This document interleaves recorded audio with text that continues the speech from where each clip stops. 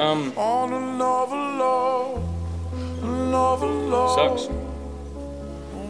Losing sucks. Losing them, losing anybody. in the building. If he has to make one for us, with the game on the line, he will. 44 yards, Bass.